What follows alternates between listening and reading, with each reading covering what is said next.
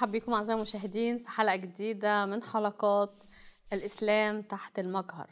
الأول برحب بأختي فرحة. أهلا بيك يا مارينا. سلام المسيح ليك. سلام ونعمة. النهاردة حلقتنا بعنوان آه، احترام الرسول بين الحاضر والماضي. صح. فإحنا دلوقتي يا فرحة يعني حلقة النهاردة.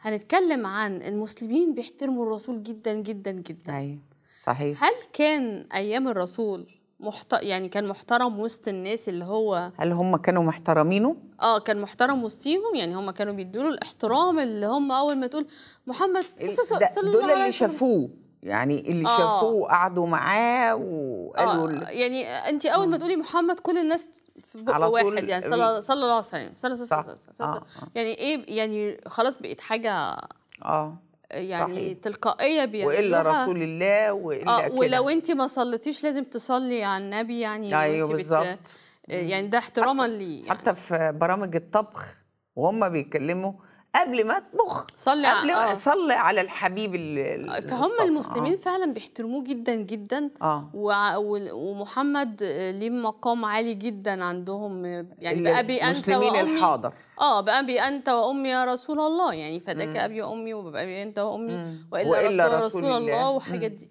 فإحنا هنبتدي النهارده نشوف أيام ما كان موجود وسطهم كانوا بيعملوا إيه خلينا نشوف أول حديث وهنحطه على اتفضلي. يقول كده لما اشتد بالنبي وجعه. قال ائتوني بكتاب أكتب لكم كتابا لا تضل بعده. قال عمر إن النبي غلبه الوجع. وعندنا كتاب الله حسبنا. فاختلفوا وكسر اللغط. قال قوموا عني ولا ينبغي عندي التنازع. فخرج ابن عباس يقول إن الرزية كل الرزية ما حال بين رسول الله وبين كتابه. وطبعا الحديث قدامكم تصحيحه على البخاري في البخاري والحديث صحيح. يبقى هو وهو على فراش المرض الموت. والموت. قال لهم إيه؟ قال لهم إدوني إيه؟ كتاب. أكتب لكم كتاب. ما تضلوش بعديه. فراح عمر قال إيه؟ ده إيه؟ غلبوا الوجع. وفي حديث تاني إنه يهزي. يهزي يعني بيخطرف. آه. فراحوا اتخانقوا وصوتهم عالي جدا. قدامه. قدامه. و... آه وراح الرسول قال لهم تر- يعني ما ما تتخ... طردهم. يعني قال, له آه قال. لهم ما, ينفعش إن تتخانقوا قدامي.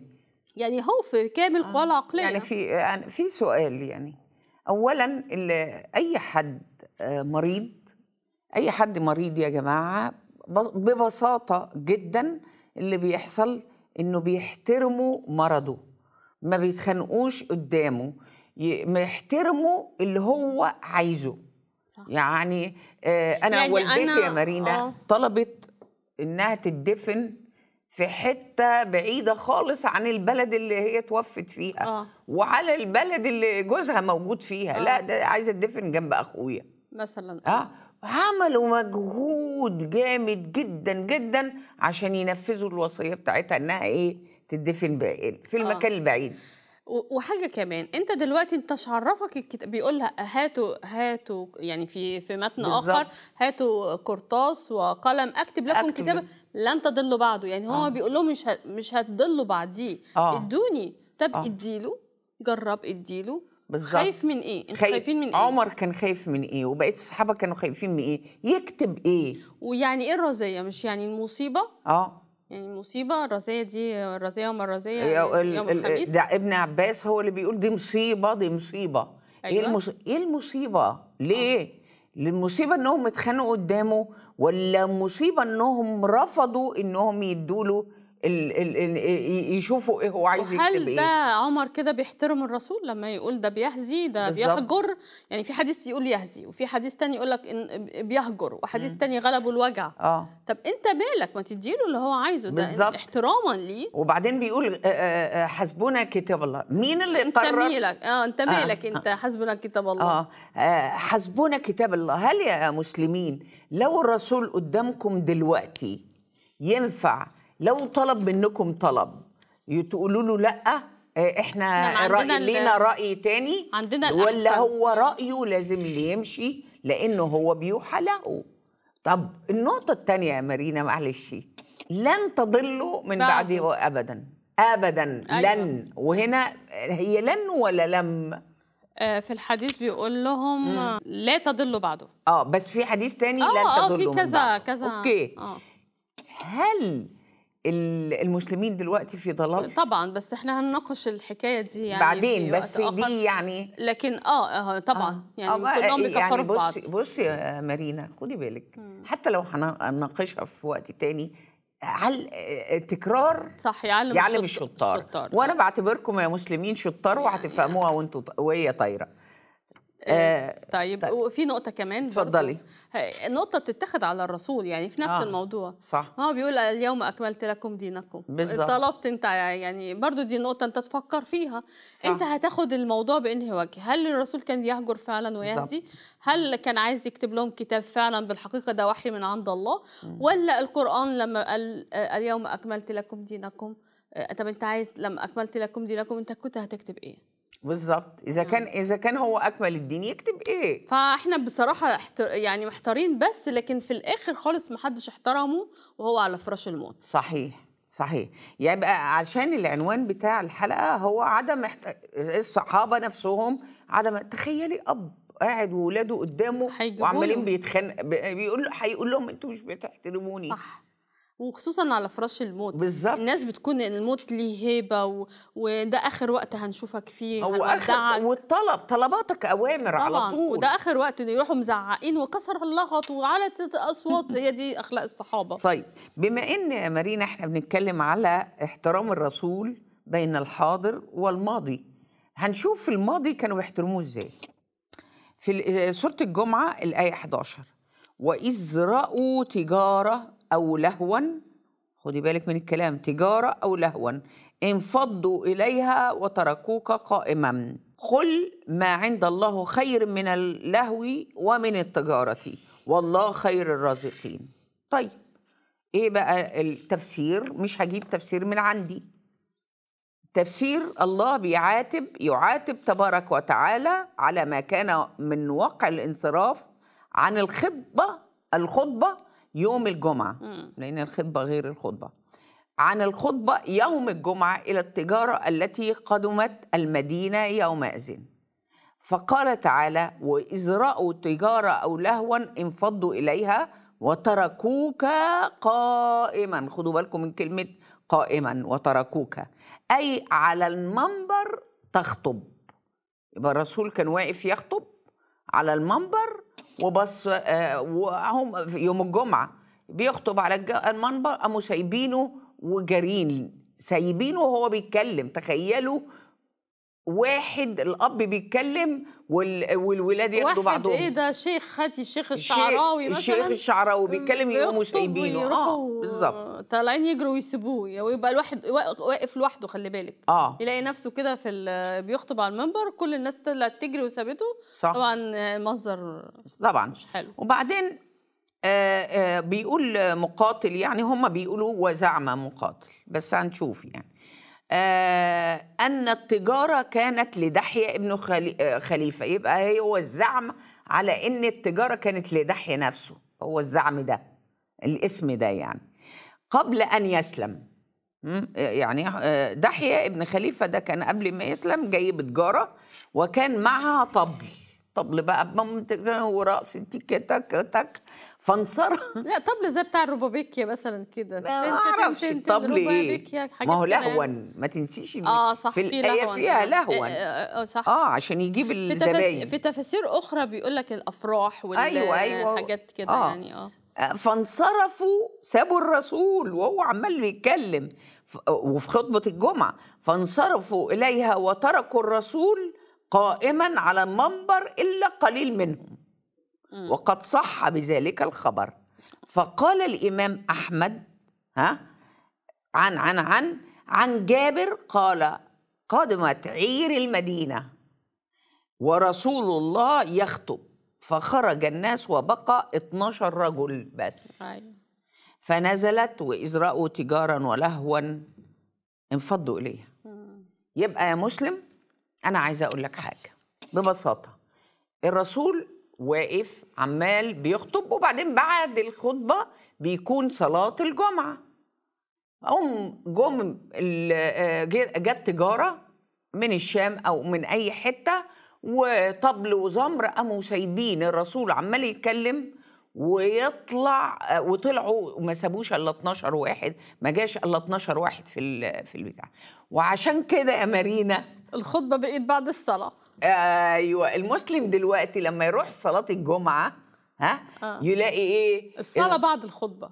ال- بصي الأول الصلاة بعد الخطبة عشان أيوة. ما حدش يمشي. يمشي ويسيب الإمام. مجبرين يسمعوا الخطبة. آه ومن يومها من يوم الموضوع ده الرسول حول الصلاة تبقى بعد الخطبة. ليه؟ اجب... هتقعدوا غصب عنكم يا؟ مسلمين. اسمعوني على رأي وردة الجزائرية يعني هتسمعوني. آه يعني هتسمع يعني. يعني أنا بقى سؤالي هل الصحابة هنا كانوا بيحترموا الرسول؟ لا طبعا. وبعدين آه، غير الاحترام هو ما عندوش ال- الكاريزما وما عندوش ال يعني ممكن يكون ما عندوش الكاريزما آه وما عندوش كمان آه، سلطان كلمة الله آه، عطاها له عشان بالظبط. الناس فعلا تبقى قاعدة يعني عندهم حبة الزيت أهم آه، يعني أوه. نشوف الناس كانت بتقعد مع المسيح بالثلاث أيام مش. بيهمها الأكل مش بي... صحيح ثلاث أيام مش. بياكلوا بيقعدوا لأن عنده سلطان الكلمة آه كلام المسيح بيتركوه. م- م- مبهورين ويقول لك فبهت الجميع من. تعاليمه حتى الفريسيين والكتبة اللي هم المتعصبين اللي جايين يصطادوه آه، في كلمة ويسألوه في سؤال آه، أول ما يرد عليهم ما ما- يقولوا الكتاب يقول وبعدين ما قدروش يردوا عليه لأنهم. بهتوا من ال- الإجابة. من هو الكلام ما بتاعه كانش طبعا روح الله فيه ف أي كلام يعني. كده ويروح الناس ممكن يكون بيقول أي كلام أي كلام زي ما. الموجود يعني اتفضل. خلينا نشوف كمان موقف آخر بيدل إن كان في إحنا في كتير بس إحنا بنختصر عشان وقت الحلقة. إحنا هنقدم موقف آخر في عدم احترام الرسول وشوفوا معايا على الشاشة. السيرة النبوية لابن هشام أمر سقيفة بني ساعدة. يقول لك إيه؟ ولما قبض رسول الله انحاز هذا الحي من الأنصار إلى سعد بن عبادة. في سقيفة بني ساعدة. يبقى آه، في الأنصار راحوا مع سعد بن عبادة في السقيفة. واعتزل علي بن أبي طالب والزبير بن العوام وطلحة بن عبيد الله في بيت فاطمة. يبقى آه، يبقى يبقى الحزب الثاني في اللي حزبين. هو في ثلاثة ثلاثة ثواني. آه في في ثلاثة يبقى علي والزبير وطلحة راحوا في بيت إيه؟ فاطمة. وسعد راحوا مع الأنصار. وانحاز بقية المهاجرين الحزب الثالث المهاجرين آه. إلى أبي بكر وانحاز معهم آه، أسيد بن حضير في- آه، في بني عبد الأشهل. طيب فأتى آتي إلى أبي بكر وعمر مم. فقال إن هذا الحي من الأنصار مع سعد بن عبادة في سقيفة بني ساعدة قد انحازوا إليه. فكان فإن كان لكم بأمر الناس حاجة فادركوه قبل أن يتفاقم أمرهم. ورسول الله في بيته لم يفرغ من أمره. وقد أغلق دونه الباب أهله. قال عمر فقلت لأبي بكر انطلق بنا إلى إخواننا هؤلاء من الأنصار حتى ننظر ما هم عليه يعني إيه؟ مم. يعني الرسول مات فراح آه، الأنصار راحوا مع سعد وعلي وفاطمة والزبير راحوا في بيت فاطمة والمهاجرين يعني راحوا إيه لعمر عمر. وقال- عمر وأبو بكر الحق ده هم اجتمعوا في سقيفة بني سع- سعيدة ولو أنتوا ليكوا أمر في الموضوع ده الحقوا روحوا هناك كانوا عشان يتخانقوا على السلطة راحوا قفلوا الباب على الرسول وهو ميت وسابوه وهو ميت? وراحوا إيه السقيفة السقيفة علشان يشوفوا مين اللي هيكون الخليفة مم. أهم حاجة عندهم مين اللي هيبقى خليفة بس الرسول ميت ما دفنوهوش مش عجلوا. يعني يعجلوا بدفنه ولا حاجة خالص سابوه مرمي سوري يعني يا مسلمين هو ده اللي حصل. سابوه قفلوا الباب عليه واتكلوا على يجروا الله علشان يتخانقوا على طيب الخلافة. وعلي يروح بيته ليه وبنته تروح بيتها ما تقعد مع أبوها. آخر نظرة. آه، آه، يعني هو هو ده ال- الكلام المكتوب. آه أنا مالي بال أنا ليا المكتوب. صحيح. لكن لكن إحنا إحنا بنشوف هنا يعني المفروض أنا دلوقتي حد غالي عليا جدا مم. وده رسول الله ونبي الله والحاجات دي كلها مم. أنا الأول آه، يعني إكرام الميت دفنه الأول مش هم اللي قالوا كده. إكرام الميت دفنه آه آه وبعدين إحنا نشوف المواضيع التانية بعدين مش مم. هتطير صح مش لكن هتطير. يسيبوه ثلاث أيام يعني هو مات الاثنين ال- والتلات ودفن الاربع ثلاث آه. أيام سايبينه قاعدين يتخانقوا لا وطبعا ثقافة بني سعادة اللي يروح يعني يحب من الإخوة المسلمين مم. يشوف عملوها إزاي وكانت فلتة إزاي وضربوا سعد إزاي وقعدوا يتخانقوا يضربوا وموتوا سعد وقالوا قتلتوا سعد وكده وقاعدين يتخانقوا ضرب هو ده الخلافة قالوا اللي- والصحابة. قتلوا الجن. آه آه قال قتلت سعد. آه قال لك قتلت سعد قال لك ده الله هو اللي قتله قتلوا الجن آه. لكن هم اللي قتلوه فضلوا. يضربوا فيه في السقيفة. أيوه ضربوهم واتخانقوا وكانت مهزلة يعني. هي دي الخلافة وهي دي الصحابة هي دي الأخلاق اللي سابها الرسول لاصحابه وده الحب؟ ده الاحترام؟ وهو قال إيه الأمر شورى بينكم مش بالخناق. بالظبط مش بالخناق. يعني حتى مش بيسمعوا كلامه. يعني يعني النقطة بتاعتك إنها فعلا إزاي يسيبوه ثلاث أيام أو يومين ونص من غير ما يدفنوه عشان حاجة دنيوية. آه. فدي نقطة مارينا مهمة جدا. طيب آه أنا برضو نقطتي برضو يا مارينا بقى فاطمة وعلي. آه. يسيبوه ليه؟ ما آه ما إحنا مش عارفين. آه، يعني ليه ليه يسيبوه؟ ده ده ابن عمه؟ ودي بنته. ودي بنته. يسيبوه ونساءه- ويروحوا بيته ونساءه. ون- آه نساءه جاية لها أنا آه بقى. آه. بيقول عن عائشة قالت ما علمنا بدفن الرسول حتى سمعنا صوت المساحي الفؤوس وبتاع عشان يحفروا في الأرض من جوف الليلة الليل الليلة الأربعاء هو مات يوم الاثنين.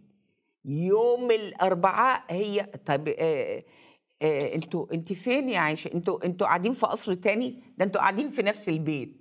ومقفول عليه بتعملوا إيه؟ بتعملوا إيه؟ وما علمنا. يعني آه. سمعوا سمعوا الصوت قال إيه هو إيه الصوت الحفر إيه ده؟ صوت الحفر ده؟ أتاريهم هيدفنوا الرسول بالليل. ده يوم الأربعاء. أنا بس عايزة أسألك سؤال يا فرح. هو عند المسلمين ممكن يدفنوا بالليل عادي؟ آه أحيانا عشان عج... بيعجلوا بالدفن بيعجلوا مش بعد ثلاث أيام إحنا لا مش بعد افتكرنا لا لا لا, ندفن لا بالليل مش بعد آه. الد... مش بعد ثلاث أيام ولا حاجة ده في يفضل إن في نفس اليوم وبالنهار بس في ساعات بيدفنوا بالليل آه كده يعني يعني. بس أنا أنا عندي سؤال يعني هي راحت فين بقيت زوجاته راحوا فين؟ ما علمنا أهو. ما علمنا مش ما خصوصا علمت. خصوصا هو قال إن أجساد الأنبياء إيه؟ أجساد لا. الأنبياء ما لا ت- تبلى يعني أو لا ت- مش هتدود ولا تعفن ولا الحاجات دي. بالظبط. طيب. لكن هي طب اقعدي آه آه طب اقعدي جنبه. ما آه. ما ده انت انت مصدقة إن أجساد الأنبياء مش هيحصل حاجة إنك تفتحي يبقى آخر نظرة يا حبيبي يا رسول الله. لا نقعد جنبه يعني آه. ما أنت ما ده آخر نظرة. آه. طب ليه ليه ما وما تعرفش إنه هيدفن؟ يعني ده يلا. يعني في إحنا في آخر حلقتنا دي حاجات صغيرة يا جماعة لكن في حاجات تانية كتير. إحنا بناخد كذا نقطة بس بنوريكم إن الصحابة زوجاته آه، آه، عملوا إيه في وهو على فراش الموت بعد ما مات. احترام الرسول وهو عايش بيخطب احترام الرسول بين الحاضر والماضي. أنتوا كمسلمين بتحترموا الرسول أكتر بكتير من الصحابة وزوجاته والناس اللي حواليه ونلتقي بيكم في الحلقة القادمة.